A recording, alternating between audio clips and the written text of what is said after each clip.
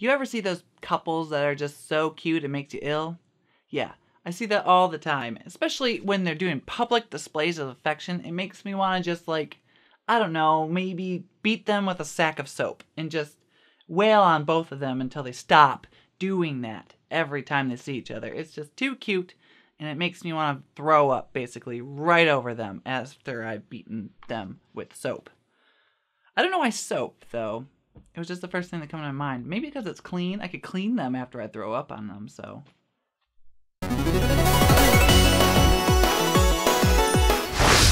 Well, I'm kind of sick of these people. Yet at the same time, I watch their videos constantly. Just constantly watch them. I don't know if it's because I'm drawn to it or if I just want to hate on it. But something about these videos always make me watch it. So today we're going to talk about the five YouTube couples so cute, it makes me sick. So we're going to start with number five, and that is Shannon Beveridge and Cammie Scott from Now This Is Living. And you can watch all their stuff and, and see exactly why I think they're so cute that it's sick. But let's just start with the fact that they're gorgeous girls. Like, come on, look at them. Just look at them for a second. I mean, this is every straight guy's lesbian dream. I mean, the girl next doors who just kind of met and hooked up one day. Even I'm fantasizing about it. They're that gorgeous. And keep in mind that these girls are constantly in each other's videos. They may have separate social media, but they have one community video channel, and it is really cute where they do all these cutesy things and like the newlywed game with other couples, and it's just so sickening. I I don't know why I watch it. Yet I do. I'm sucked right in, you little bitches. Ooh, ooh, ooh. I love you, but I hate you. I love you, but I hate you. I feel like that's every relationship that I ever have ever with anything. I love you so much, I hate you. And then there's number four, and that is pretty much Jenna Marbles and Julian Solomita from their self-named channels. I mean, they have two separate ones, but I'm pretty sure Jenna Marbles is kind of the breadwinner when it comes to the channel with her like 10 million subscribers. The Julian's like like half a million subscribers. But they do work together on a lot of Jenna stuff. And it's actually really cute because you can tell that he does all the camera work for her videos and whatever. You could tell that they're just two weirdos who found each other very early in age and just loved each other. Even if you watch their vlogs, they don't really go out and do much. They just sit around at home and they love it. They're like two introverted people who found each other and just do shit and just do random shit. Like, why can't everyone have that relationship? Why can't I find that in a relationship? It's probably because I'm a pretty terrible person and no one really want to get with this, and I probably wouldn't want to get with anyone else either. So, I mean, there's that. Now, if you watch Jenna Marbles' channel, you can tell that all she does is really kind of do videos that make her laugh. And that's probably why people fell in love with her, is because she just found it funny and everyone finds it funny that she finds it funny, which is great. That's a great concept. I mean, I wish I thought of it first, but the, she's a little bit older and a little bit more wiser than me, and she actually has a master's, I believe, in some type of, I believe it's psychology, so she's a bit smarter than me too. But you can tell that when they're in the videos together that they truly enjoy each other's company. I mean, there's not any other people really ever in their videos, so it's just them, just constantly doing things that make each other laugh. And that's the best part about it. And yet, when you sit there and watch it, you're laughing with them and then slowly thinking about how the fact that you're alone forever and you're gonna die alone and they're gonna be happy forever and probably see each other in another life when they become reincarnated. And your new reincarnated life is probably also very lonely. So, keep it up.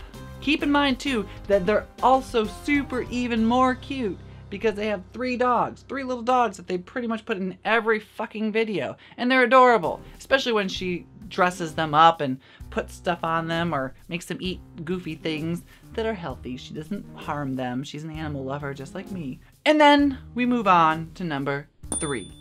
Number three is not necessarily a couple. I, I only want to call them a couple because they're kind of like in each other's videos a lot. And I'm not digging on their sexuality. They could be whatever they want to be, but I've seen lots of Tumblr fan fiction, and it is very homoerotic. All sorts of dick just everywhere. It's just insane. Before I forget what I'm talking about, we're going to talk about Dan Howell and Phil Lester from Dan is Not on Fire and The Amazing Phil. Now, I know that they're probably straight, and Dan Howell and Phil Lester, they, they really don't talk about their sexuality, which is good. No one needs to know about their sexuality. It's their business, and no one needs to care about it. Yeah, I'm gonna bring them into this coupley thing because I just.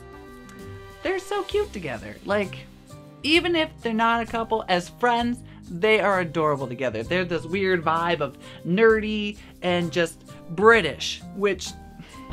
Come on. That's not fair.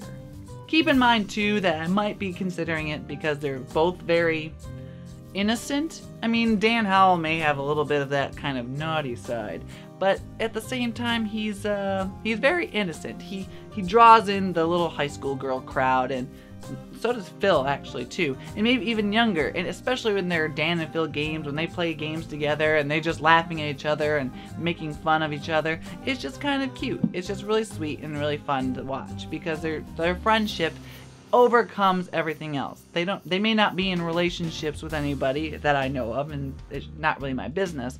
But at the same time, it's just kind of cute to watch. So that is why they're number 3. They may not be a couple, but they also do make me sick. Their friendship is so cute, it makes me sick. All right? Uh, like it's just there. I'm just to throw it out there. Your friendship is sickening, Dan and Phil. Sickening. Keep it up. I love watching your shit though. And then we have number 2. Number two is kind of my favorite couple, mainly because like if I could meet them, I'd be pretty excited, just saying. And that couple is Jamie Pine and Mike Cherry. Jerry. Cherry? It's Jerry, but my accent, my Michigander accent sometimes comes out with J's and Ch. Jerry.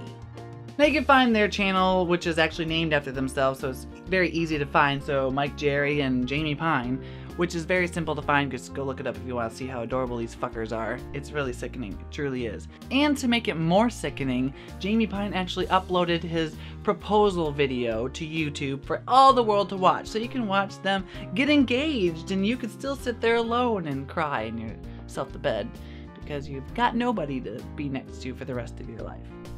I feel kind of like I'm depressing everybody with this video, but I'm gonna post it anyways, because go fuck yourself.